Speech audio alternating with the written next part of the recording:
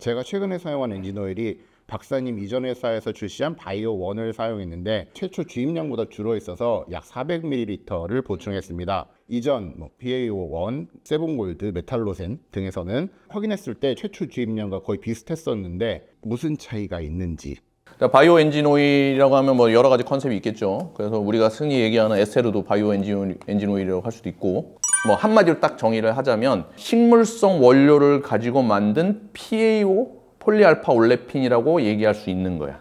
알파 올레핀도 조금 그렇다. 왜 그러냐면 얘네들은 중간중간에 올레핀 기가 있어요. 그래서 그러면 internal 올레핀이라고 해야 되겠네. PIO라고 해야 되겠네.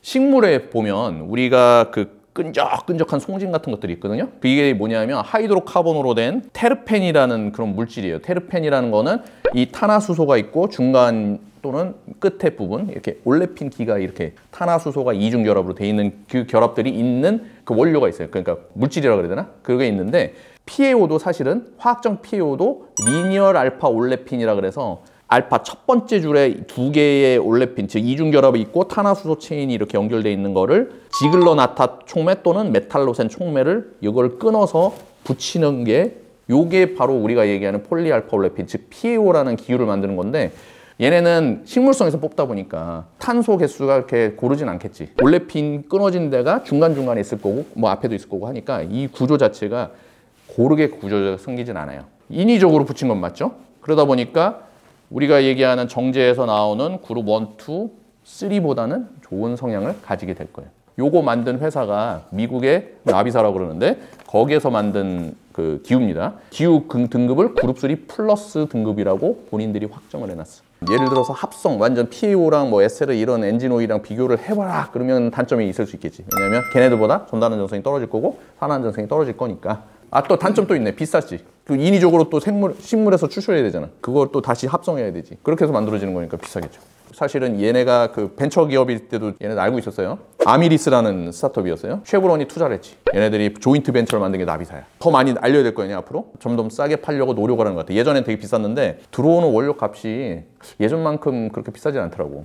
그 합성을 할 때 그 원료에 따라서 합성을 할 수 있는 것 자체가 달라지는 건지 있을 수 있어요. 그런 원료의 차이에 있을 수가 있어요. 왜냐하면 원료에 그 걔네들이 이제 분자 결합에 어떤 방식으로 붙어 있느냐에 따라서 이중 결합이 어디 갖다 붙어 있고 여기에 불순물이 뭐가 붙어 있는지 뭐 옥시전이 어디 같이 붙어 있는지 이거에 따라서 결합 구조가 다르거든요. 그러면은 그게 에너지 차별에 해서 끊어지는 게 달라. 그래서 그걸 가지고 만들면 사실 그렇게 되는 거잖아요. 그래서 차이는 있을 수 있지만 일정한 원료들을 그대로 가져다가 만들어서 합성을 해 놓으면 합성하는 거에 따라서 우리가 예측하는 수명을 만들어진다고 얘기할 수가 있죠. 기름은 다 같으니 섞일 수 있다라는 말씀을 해주셨어요. 기존 그룹 3 혹은 그룹 3 플러스 또는 PAO 기반 오일과 혼합 시에 바이오 엔진 오일이 네. 이 실제 엔진에서 성능 변화가 있을까요? 합성유의 종류가 여러 가지가 있어요. 세 가지 종류인데 하나는 탄화수소 계열, 또 하나는 실리콘 계열, 그 다음 또 하나는 할로겐 계열이라 해서 염소, fluorine, F 뭐 이런 것들이 있는 거 내가 얘기한 적 있었죠. 그것들이 껴 있는 거. 그런데 사실 엔진 오일에 쓸 수 있는 거는 탄화수소 계열밖에 없는 거야. 그래서 섞으면 섞여. PAO랑 그룹3랑 섞는데 잘 섞이잖아요. 그래서 섞어 쓰잖아. 아까 그 바이오 베이스 오일이라고 했는데 PAO의 종류잖아요. 그죠? 얘네도 그룹3랑 당연히 섞이겠지. 전혀 문제 없어요. 그러면 PAO를 쓰지 왜 얘네 바이오 PAO를 왜 쓰냐고 이렇게 나올 수 있죠. 포인트가 있습니다. 뭐냐면 sustainability입니다. carbon footprint라고 얘기해요. 카본을 줄이자는 얘기예요. 그래서 우리가 생산하는 모든 물질 환경에서의 탄소 배출을 줄이자라고 얘기를 하는 건데 이게 줄이는 게 예전에는 제조하는 거에서만 줄이자고 주구장창 얘기했는데 지금은 많이 바뀌어서 제조할 때 들어가는 전기에서도 카본을 줄여야 되고 그 다음에 실생활에 우리가 쓰는 거 뭐 이런 거에서 전부 다, 다 카본을 줄여야 된다고 얘기를 하고 있어요. 전 세계의 기관들 그 다음에 정부 이런 데서 전부 다 이제 앞으로 야, 이 카본 온실가스를 줄여야 되는데 카본을 줄여야 된다고 얘기를 하죠. 그거에 대한 규정들을 만들어 놔. 그래서 그거를 카본을 제일 많이 쏴주는 애들이 나오는 애들이 자동차 회사나 이런 회사들이죠. 그래서 걔네들한테 조건을 걸어. 2050년까지는 카본 제로입니다. 여기 원료 자체를 바이오에서 만들었으니까 식물에서 추출해갖고 거기서부터 만들면 여기에서 생기는 원료에서부터 생기는 카본이 없어져. 그럼 이걸 쓰면 뭐가 되겠어요? 탄소 줄여진 물질이 되는 거야.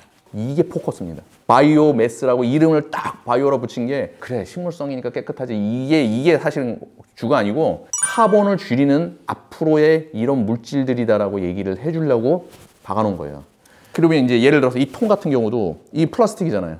폴리머인데 이거를 어, 녹말 같은 데서 만들어서 폴리머 만들 수가 있어요. 이것도 어떻게 보면 carbon footprint 줄이는 거지. 이런 식으로 해서 회사들이 이렇게 해서 카본 이게 carbon footprint를 줄이는 거예요. 먼 훗날에는 반드시 바이오로 생산된 바이오 원료를 쓴 그런 윤활유 제품을 써라라고 명시가 딱 되겠지. 그래서 요런 Novvi사 같은 사람들, 이런 사람들이 미리 그걸 만들어 놓은 거예요. PAO 못 쓰잖아 앞으로. 내 거 써. 식물성으로 만든 PAO야. 이렇게 되는 거지.